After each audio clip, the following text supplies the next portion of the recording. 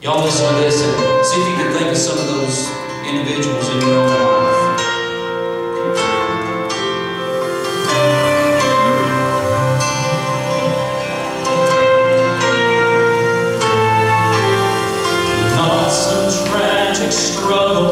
Not some